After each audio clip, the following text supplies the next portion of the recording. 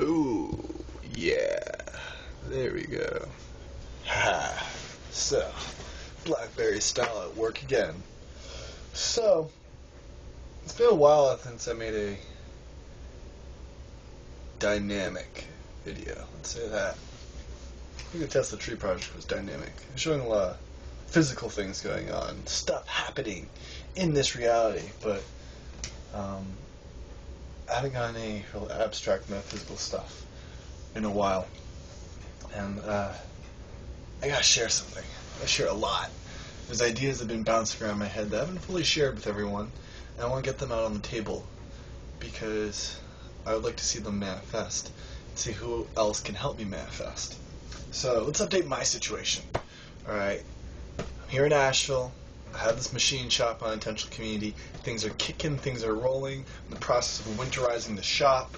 Um, I've manifested this beautiful soul, Garrett, who spent a month at Occupy Wall Street and after the eviction at Zuccotti Park and having to process a lot of what went down, he needed a break into a couchsurfer I was interacting with, couchsurfing.org, big fan of. I host a lot of people, and I do a lot of traveling with it myself. Uh, said, hey, could you host my friend from OWS? Um, and I was like, yeah, yeah. And she was like, he's a welder, he goes to Burning Man, I think he's right up your alley. Yeah, he's right up my alley. And he's been here for a week, helping me out. We're getting shit done, winterizing the shop, working a little bit on the uh, the tower. It's basically working with the elements, with the epoxy and temperatures. Um, I got one capacitor built. I'm about to probably build a few more um, Monday. I don't know, temperature's about to drop. We might get our first snow Tuesday. So epoxy and temperatures are like going down the drain. Um, I just got a wood stove in the shop. But the shop isn't sealed yet, so um, it could make things interesting for epoxying. I'm trying to get the capacitors done. I'm building custom made capacitors um, of copper and aluminum. And uh, uh, so we'll see how that goes. Um, there's two other projects that I haven't fully shared or discussed. One is the idea, I mean, I have, I have talked about it. It's the idea of making a motor of these guys. And so I want to explain that concept. I want to share about what I've been thinking about more of dimensional theory and what I've been calling in terms of electricity, compression, and um, expansion, realizing where I made faults. Um, at least I believe I made faults, and so I'm trying to loosen up by saying this is what the way it is and this is the way it is by being could be this way and it could be this way. Because so far I haven't heard anyone say it is this way and it is this way, um, and really be that way. And so I'm trying to figure out for myself too and share with you my insights. As I feel a lot of people have been saying, my mind has been going in the right direction. If anything, you can watch my channel and see where my mind has been going as I process and analyze all this and explore this and use creative approaches to understand how this actually works. And uh, this is the octagram, by the way. This thing came out beautiful. Oh my god, it came out beautiful. Take a look at that. I love this thing. Keep it like ugh, next to me all the time. And uh, feels great. So, um, an idea I want to share before jumping into other things. Um, so the whole Walter Russell. So people in this field are very familiar with that term, and I've glanced a lot of his images and thought about it. Um, but he made a statement that really got me thinking, and it was a brilliant concept that made things simpler. And that the electric and magnetic fields are at 180 degrees to each other, not 90 degrees. 90 degrees is the illusion. I can explain why. And so, let's um. So this is also me talking about a comet relating to the idea of a comet and plant formation. If you've seen that video, let's get without the shadow. And so, all right. What I'm going to do is, let's say uh, we have your uh, centrifugal force. Oh, I'll make all different colors. We have a singularity. Okay, we got a little dot. And you got an expansion out from the dot. Okay. And then we have expansion in to the dot. Okay? And so we have centripetal force spiraling in to a singularity and then spiraling out from a singularity. Centripetal in, centrifugal out. Alright? And so, as what we've been seeing is that centripetal and centrifugal, centripetal and centrifugal force, the actions to electromagnetism, are aspects of the second dimension, um, as exhibited through the torus. And so, the torus is right here. Okay? This is a Marko image originally. Uh, a lot of people are understanding this concept. Now, what he's saying, what Walter was saying, and it took me a while to grasp this until I started to see um, there's things he's just not connecting in all his work. People haven't seen it. Is that this is the electric. The electric is the centripetal force spiraling, the magnetic is spiraling out. And this way he says they're 180 degrees to each other. However, so this is what would be considered a magnetic monopole, because you're only seeing one aspect the monopole, the expansion. And so then you have that simple concept of uh, not a simple concept, um, but the double black hole. And a double black hole.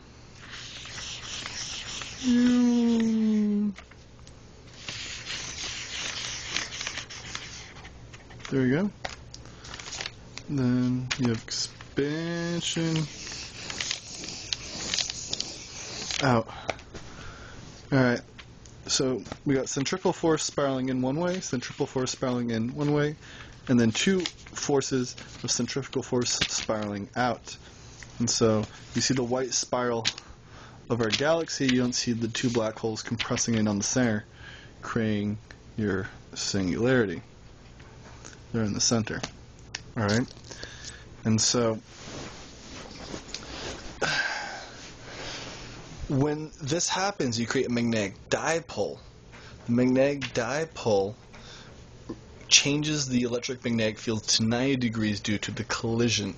Um, in the favorites on on my uh, YouTube videos, there is um, a video of two toruses colliding, vortex ring collisions.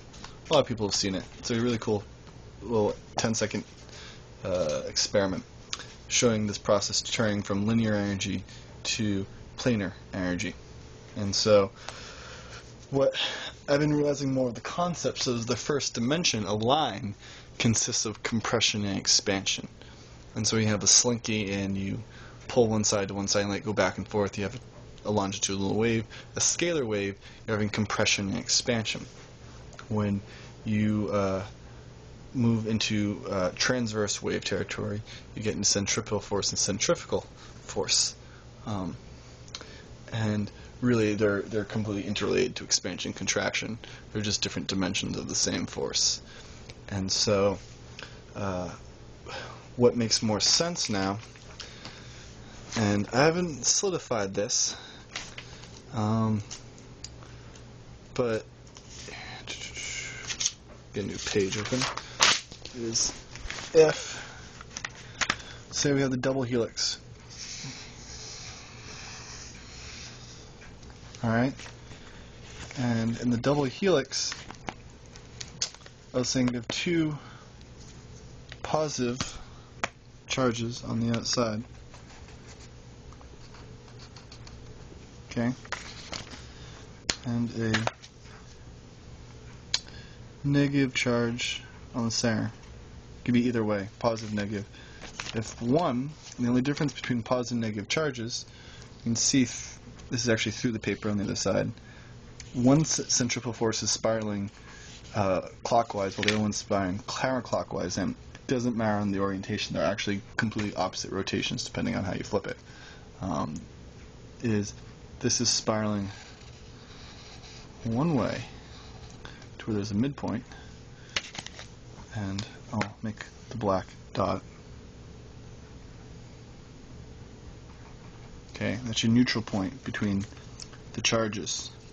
And so in a linear sense, you'd see, you know, extreme polarities and then a balanced polarity. And, uh, but then spiraling out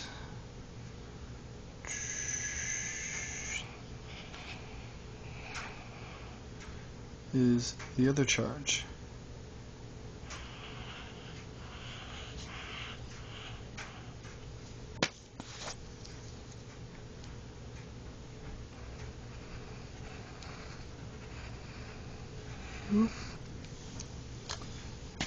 And so you're having opposing spins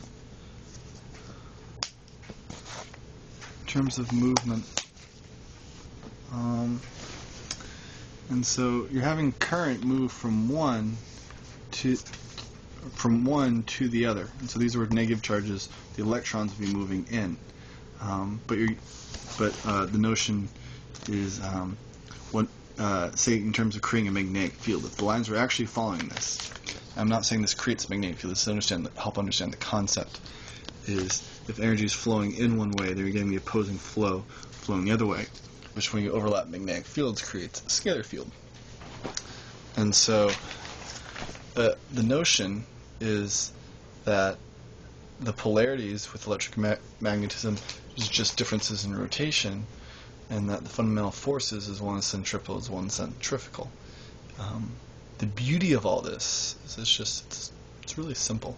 It doesn't get much more simple than that. And I'm feeling other people have been there way before me um, just sort of clicking right now and applying it um, to what actually is happening between the polarities and the balance point between the polarities. And so this has helped me figure out more how to build a device with this, a magnetite octahedral crystal, and this. Um, except I'm not going to use the octagram. I'm going to explain why you can use the octagram. You can use a double octagram, a two circuit octagram, or a single circuit dodecagram. And one of the devices I want to build right now consists of, um, I'm probably going to cast or sinter cast magnetite to make my own octahedral crystals. It won't be a natural crystal. Um, it'll still have a lot of the same properties. Basically, I'll be making lodestone, but lodestone in the form of an octahedron, because um, lodestone does not have the natural magnetite um, crystal shape.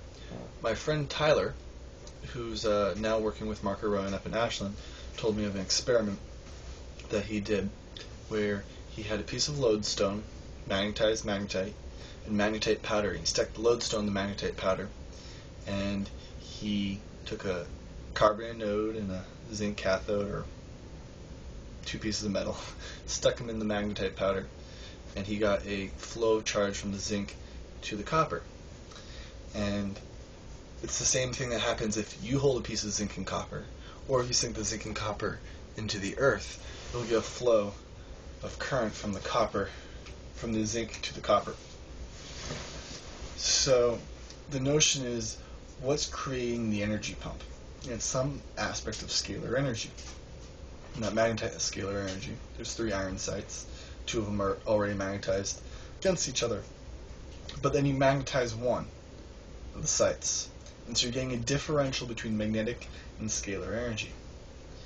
And really, we have to start understanding there's a difference between the. Um, there is no true magnetic without the electric. This is what Walter Russell was saying.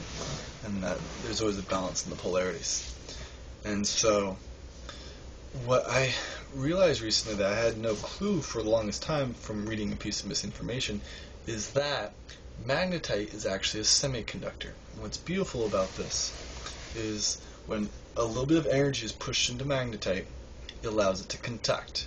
And when the energy is removed, it stops conducting, semiconductor.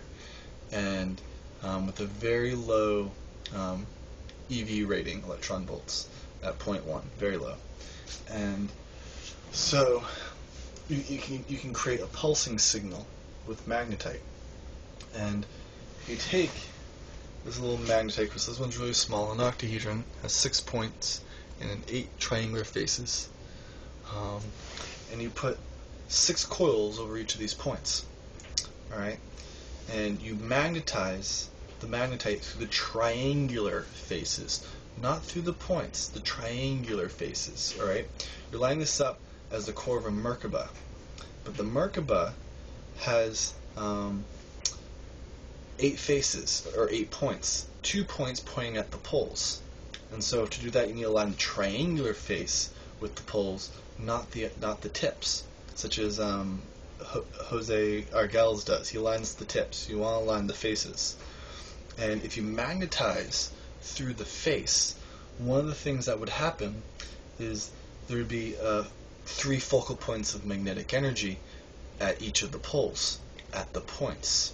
So instead of magnetizing it through the points, right, you're getting these focal points on the points with a neutral zone on the square, you're getting equal distribution of the magnetic field all throughout the crystal, which is what you want.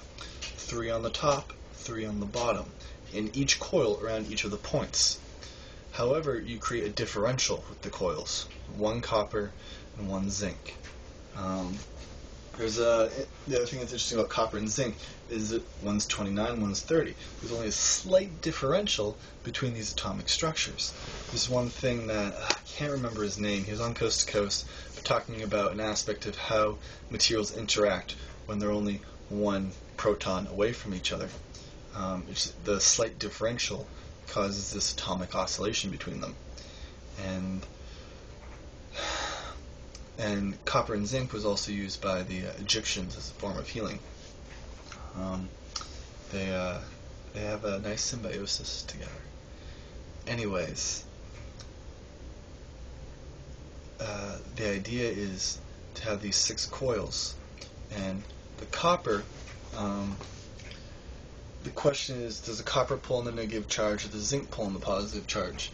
Because um, we're not connecting the copper to the zinc. If I connected the copper to the zinc, the copper is absorbing the negative charge. So the copper should be absorbing, taking on a positive charge, while the zinc is taking on a negative charge. And this also relates to that I've been noticing with my system. I'm putting the negative charge in aluminum and the positive charge in the copper. And this is what Tesla was understanding. So the idea is at these three points, you're creating uh, six centripetal vortices compressing into the magnetite. And then the magnetite is expanding outwards through the six faces on the sides. Um, while the two faces on top, um, well, there might be eight forces of magnetic expansion. It'll be interesting to see how it works. Technically, the scalar field is formed in the center of the magnetic axis. And so you're utilizing all forms of this energy, electric, magnetic, and the scalar in the system. And so that's one of the things I want to build in the shop. I want to do it with dodecagrams, or single circuit Rodin coils, built in this fashion, which takes uh, five uh, wires in a pentagon shape and twisting them 12 times, then bending them around and soldering them together, actually brazing them is how I've been doing it. Um, it's a higher temperature solder and much high, much more high quality crystalline solder. And uh, anyways, a dodecagram. What's interesting about a dodecagram? It's a dodecagram. Let me draw this out really quickly. Drawn tons of dodecagrams. Um, Nope. Another page. I was drawing out the octagram that time. Alright. So it's a 12 pointed star that skips every uh, five rotations. And some really interesting things about this star.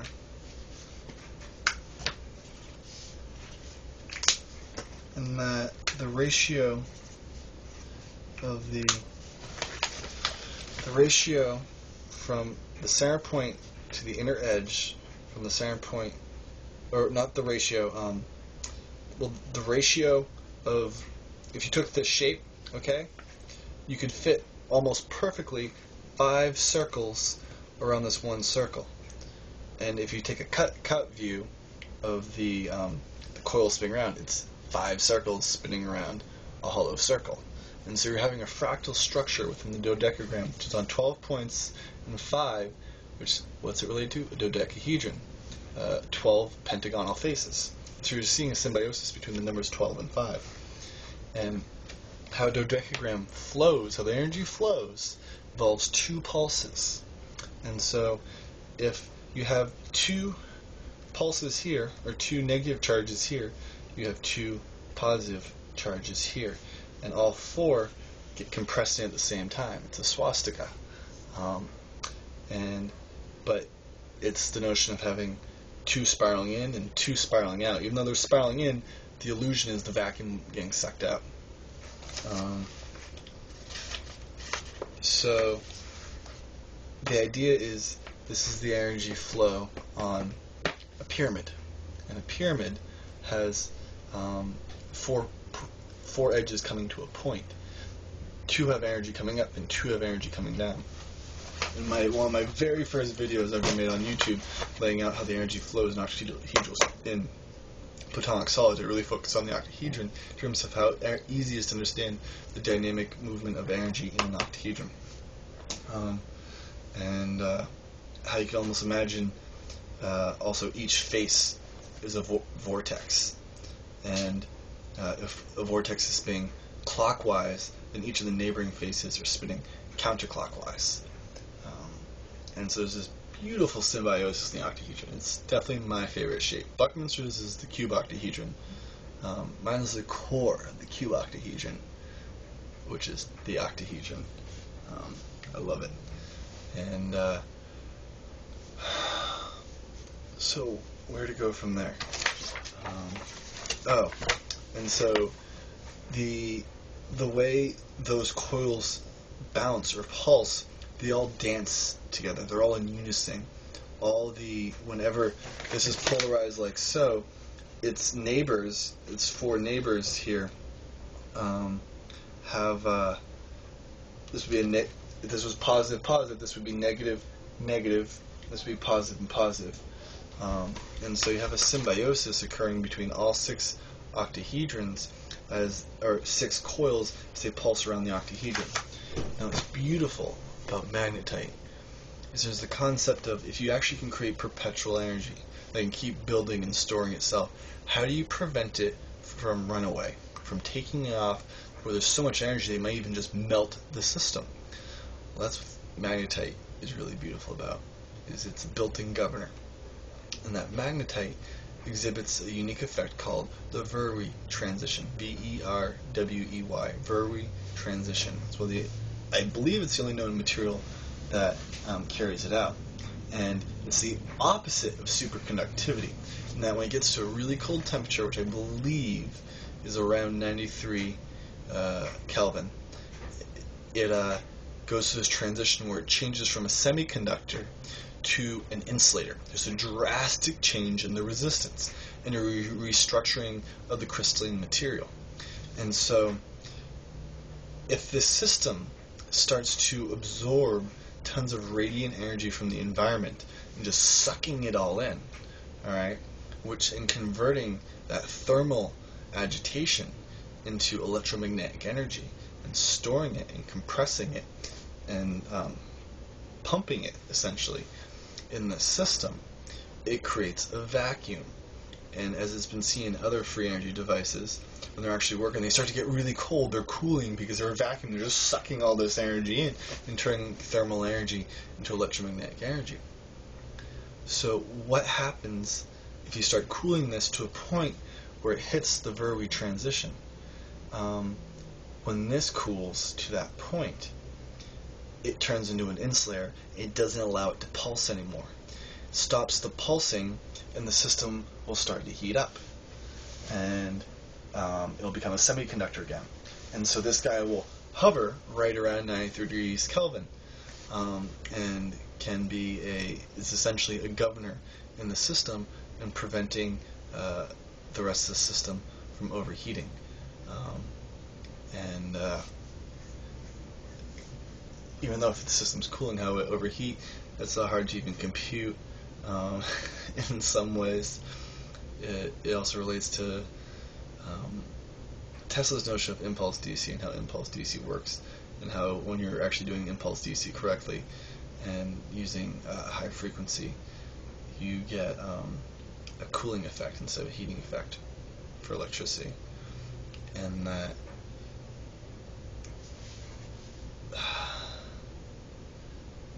I, I don't know where I was exactly going with this. Um, well, how the system overheat? There, there could be too much energy um, in the system, but there's too much energy, it should cause heating. But suppose the electrical effect is cooling. According to Tesla, this is Tesla's words. I haven't seen it myself, um, and uh, hopefully will be seeing it soon. So this is one idea, something I'm working on, um, a project I want to push through. Another project, and so we're gonna hop onto another subject. I'm throwing out uh, the three big projects I'm working on. There's a Tesla tower you've been hearing about. There's getting this motor going and then I want to stir some people's imaginations and explain what I want to do with the stabs I've been building and taking a next step. And so there's a notion of how do you create a lot of electromagnetic energy with one of these stabs? And there's a couple ways. Um, there's one in the tower aspect itself. When you hold that staff up, uh, you're getting it can if that star ta- staff is tuned right, it'll start oscillating with your own Earth's electromagnetic field. There's also the notion of spinning around and turning torque directly into electromagnetic energy, and that's understanding the Searle effect. And the Searle effect is so if you're having this staff and you're spinning it around, well, the magnetic field, which is coming right through my trailer, my trailer happens to be aligned north south, comes right through this trailer.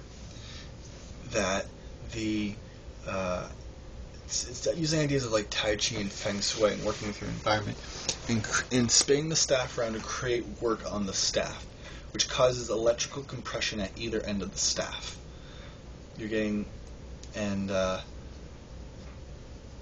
you're getting you're getting voltage essentially at either end of the staff, and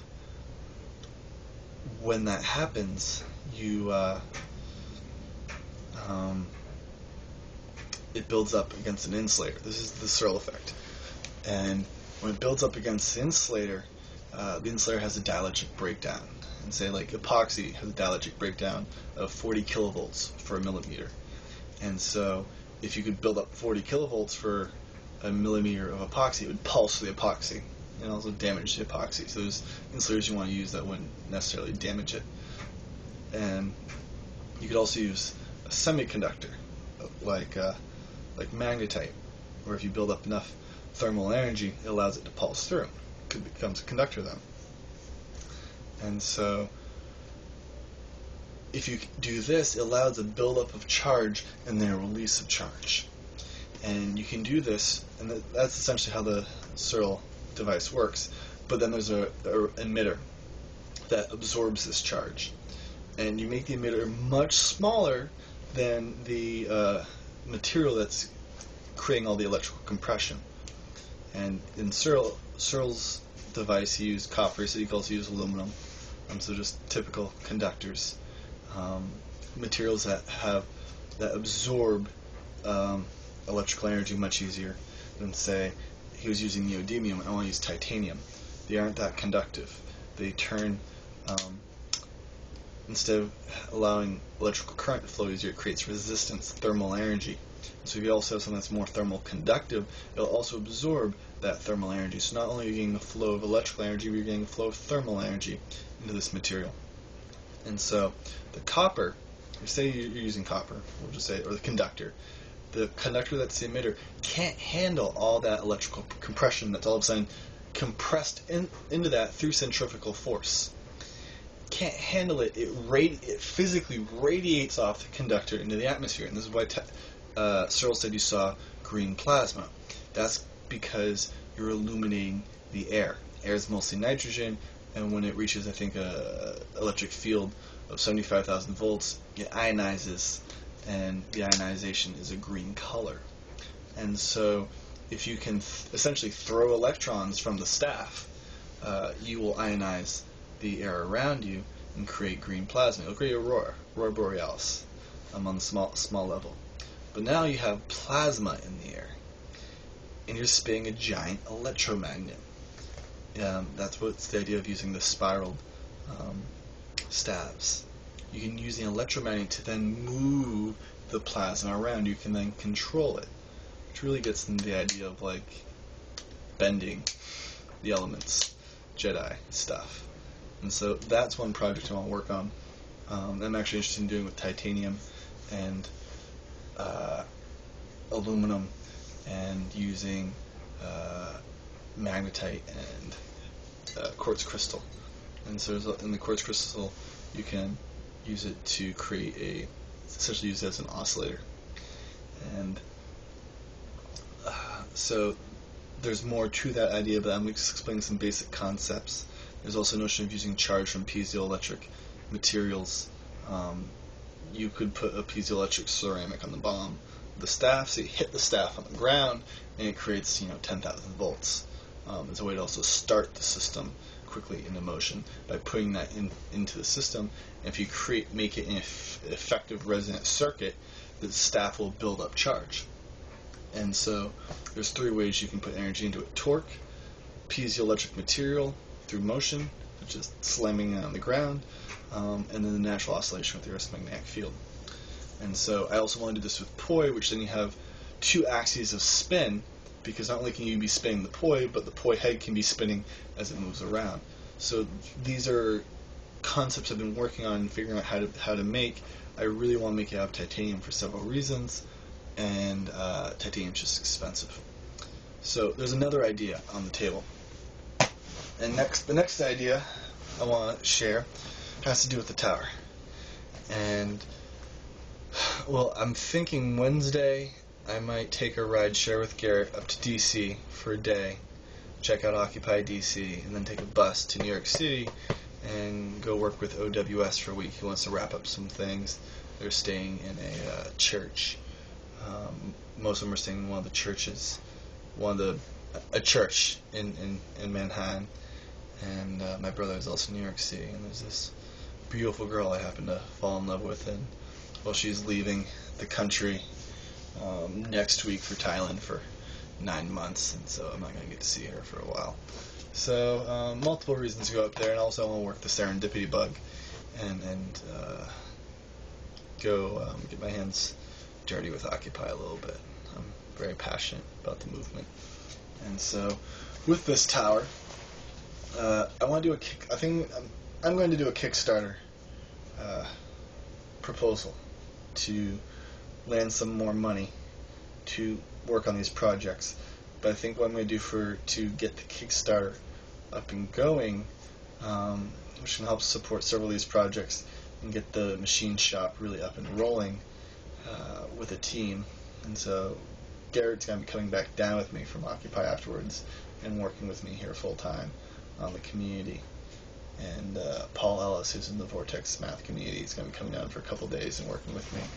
Um, and uh, Trevor Kagan, who's been supporting me a bit in this endeavor, has been working the uh, investor bug, investor serendipity bug, and uh, making some beautiful things come around. And uh, anyways, with all of this, I really like the idea of Occupy Tower, putting it in a public location for all to see, and uh, just like I'm putting it on the internet for all to see, and that the time of fear is over and that we're showing solutions. And there's a lot of us there's a lot of us doing beautiful things. And well occupy tower sounds like a great idea. And so i'm going to put this on kickstarter. And uh, see where it goes the project's almost done but yeah the, the epoxying temperature thing sort of sucks and making my own capacitors is time consuming but they're going to be nice when they're done and uh, so there's some cool things going on. There's some cool ideas up in here. I just need some help getting them into here, this this reality. Uh, but I'm close. I'm really close. I'm getting um, all the coils I've wound tried to. I am most impressed with this little one right here because of how motherfucking perfect it is. And I've not seen anyone really contest this or. I don't, think a lot of people realize the full potential of what this is. Uh, it's just pure geometry. Pure, beautiful geometry. It's Celtic knots before your eyes. And seeing how energy wants to move itself. It's wonderful. It's enlightening. I mean, I'm proud of this. I used to have a hard time with pride, going to two extremes, being like, I used to be a cocky son of a bitch. Really was. And, uh, love being the center. I still love being the center of attention, that's still true. But, having to, like, push that away and instead of, like, you know, taking pride in my fire dancing performances, just be like, you know what, it's just it's about the performance. It's not about the artist, and push away the the things. I just want to be like Buckethead and pull a bucket over my head and put on a Daft Punk suit and not not feel uh, the things that people were really giving me for my work, and then realizing that there's a healthy balance with pride, and that I feel a lot of pride for this and the love that went into this whole process from here to here, the process of manifestation. And the question is putting this to work and, and getting some things out of it.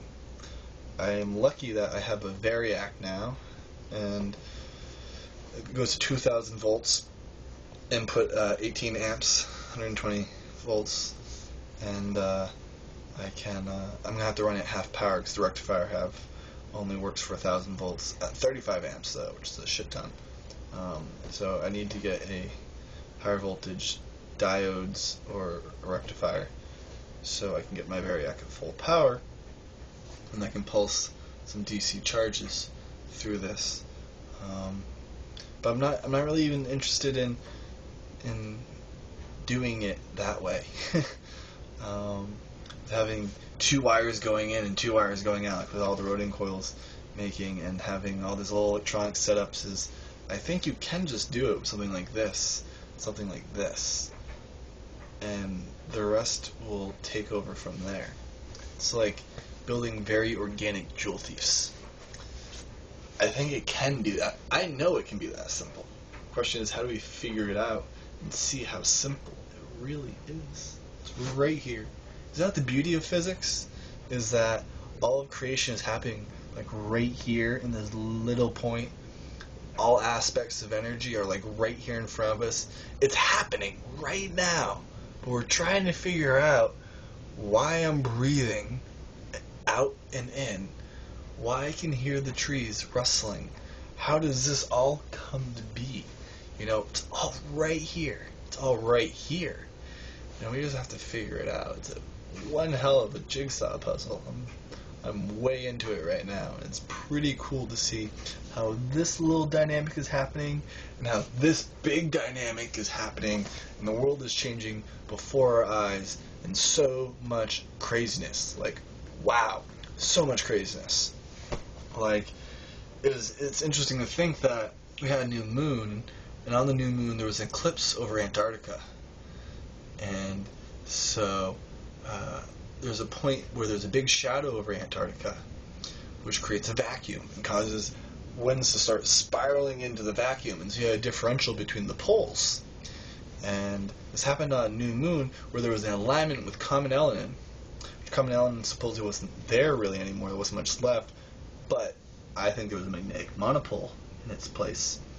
Comet is just being pulled along by this magnetic monopole, and that uh, the monopole aligned with the Earth and the Sun on the same day. It just happened to be that Elenin was the golden ratio distance away from the Earth. You know, that it was at 1.618 AU. Like, come on. Like, come on! You know, Douglas Adams would be laughing his ass off right now. He'd be like falling over, just going like, oh, like, oh my god, he'd be laughing. Oh, I love that guy. And uh, uh, I lost my train of thought. I, I rolled off into oblivion. Um, is oh yeah, Comet Elenin. Anyways, then what happened right after that is that really giant magnetic filament on our sun. I think the largest one known record before was at 350,000 SOHO had witnessed. This one was at a million kilometers. A million kilometers. You know, huge. And collapsed and went boom. And it's created a 180 degree coronal mass ejection. Coronal mass ejections I've seen, you know, well, anywhere from like 30 to 90 degrees, averaging 60 degree span away from the sun. 180 degrees, boom, through our solar system. And uh, moving at 930 kilometers per second, which is the fastest coronal mass ejection I've w- witnessed since um, I've been watching space weather for the past couple years. There hasn't been coronal mass ejection much until this year. Um, that's really fucking fast. It's twice the usual speed, and uh, yeah, it hits us in like oh several hours. So it'd be interesting to see if the grade goes down. Interesting if, and we'll even see this video because of that concept. That's interesting to think think about. Is what if the grid went down and this whole video is just for me to like get this stuff out, and so I can just talk in this little black box. I can record it all because it's all about to fry, all of it. It'd be interesting. Personally, I think just the grid systems are going to be affected, and that the electric grid system is this giant antenna on our plane. If we just tune them right, we get power out of them. But uh, it's gonna pick up a lot, a lot of solar radiation from the solar storms, and uh, we're gonna have some blackouts because September 26th we had a huge solar storm, which was um, also aligned with Elenin that related to the golden ratio, and uh, that day um, except the goal it was at 0.618 AU. So it's interesting how you're seeing these these ratios. It's just hilarious. Uh, that was the largest solar storm in years. I think this one's gonna top that. So, and and what happened within 24 hours of that solar storm is uh, San Diego, the whole grid went out in San Diego, and so. But that wasn't a hydro flare. This is a hydro flare. A hydro flare has the potential doing mega damage. And uh, what happened in the 1800s, it got it heat up the telegraph system so much that the insulators burst into flames. Uh, you know, the actual poles would catch on fire. And so, think of that now. Think of what could happen right now if the whole grid went down. NASA said that such a solar storm could set back our society 10 years. Awesome! Awesome! I think we need it. I really do. And I have compassion for those that would be hurt during that situation. But you have to, that's one thing you have to balance. Because with the Occupy movement, people, you know, some of the things that Occupy are doing are affecting people's jobs. They're like, if you're if you're standing up for people's jobs, why are you causing us to you know not be able to get to work or for our jobs now? Because the things we'll see is this is about sacrifices. Is it's it's the simple notion of it's gonna get much worse, and if we stop it now, and if you hurt now, it's not gonna hurt as much later. We have done the bailouts and we had let the economy crash as is, it would have hurt then, but it wouldn't have hurt as much as it's going to hurt now. So this is the idea. We're on a runaway train. It's picking up speed. We're trying to stop it, and when it stops, it's going to crash. It's going to suck. But if we stop it now, it's only going 40. It's not going to be going 60. All right? That's the thing. We have to stop this runaway train now. Maintenant as the French would say. Okay. Not today, not tomorrow, yesterday. It needs to stop. Because it's going to get so much more destructive. The beauty is, is the number one thing the Occupy movement is doing is it's causing an exponential wake up of people's minds. It's showing that the war on our mind has been so prevalent. The police, police brutality is revealing that the Constitution has been eroded. This country is just is almost non-existent. It's non-existent in the way I was raised. I was raised 1776. What I was taught in school, what I believed in, to eventually find out wasn't the case. So, what do I want to hold up when I'm at Occupy? I want to hold up a flag, the American flag, with 13 stars on, 13 stars in a circle, versus the linear 50 stars that came about in 1948. 1948 is when our society started to go really downhill after World War II. World War II is the pinnacle, say, of human society, of American society. And then it all went downhill after that. Really, the date's 1913, before World War One.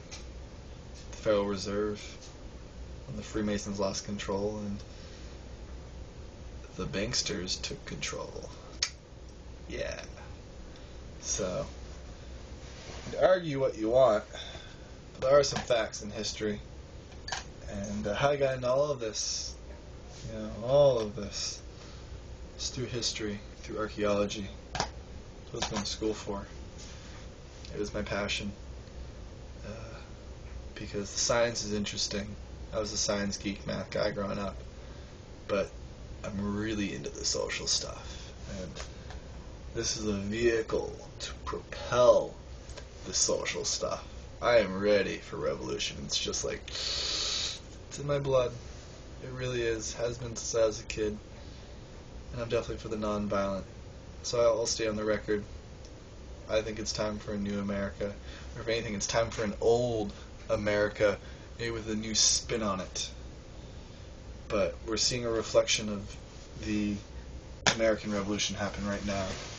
And Occupy Rome just got a little violent. And so you're seeing violence in Greece, in Athens, the birth of Western civilization, now Rome. Where's next? London? And then New York City? Because what you're going to see topple is if Greece topples. Okay, that is the biggest metaphor for the collapse of Western civilization, the place where it was born, collapsing. And then Rome.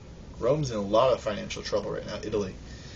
And if you saw those four big signs of Western civilization fall Athens, Rome, London, New York City. Bam, bam, bam, bam.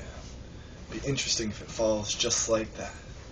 History repeating itself in the most unusual of ways.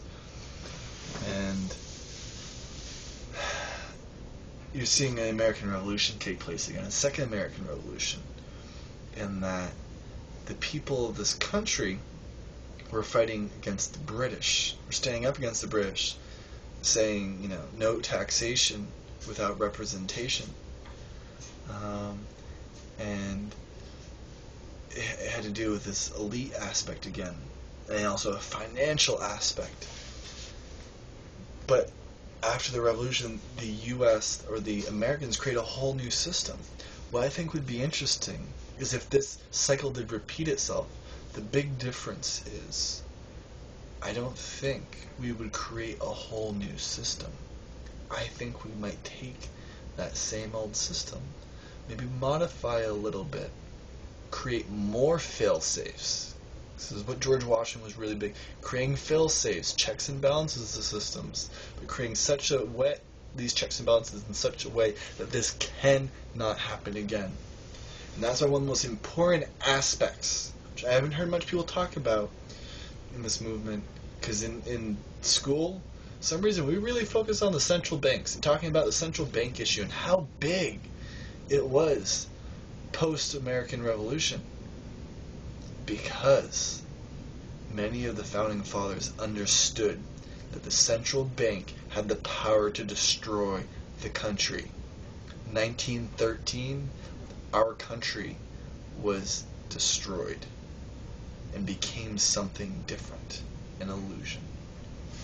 And so I'm all about the science. I'm all about the energy revolution. But it's really a vehicle to repel all of this and all of this. The external and the internal to help all of us evolve and all of us grow. And so,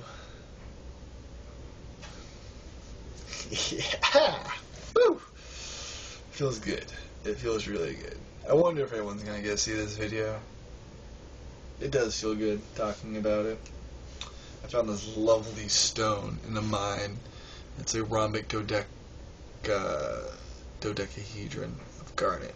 Oh, it's beautiful. It's beautiful. It has some really nice faces on it.